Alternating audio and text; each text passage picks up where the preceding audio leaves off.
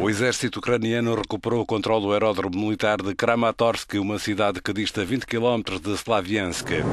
A informação já foi confirmada pelo presidente interino. Depois de os rebeldes terem impedido a aterragem de um caça ucraniano, quatro helicópteros desembarcaram militares em plena pista. O enviado da agência Associated Press diz que ouviu sons de artilharia. De acordo com a agência russa RIA Novosti, há dois feridos entre os rebeldes como consequência de uma escaramuça com o exército. Mas outros meios russos estão a adiantar números dispares de mortos que variam entre os 4 e os 11 terão morrido em vários recontros ocorridos entre Kramatorsk e Slaviansk. O presidente Turchinov disse que a operação antiterrorista será faseada, deixando de entender com isso que só mais tarde será estendida a outras cidades.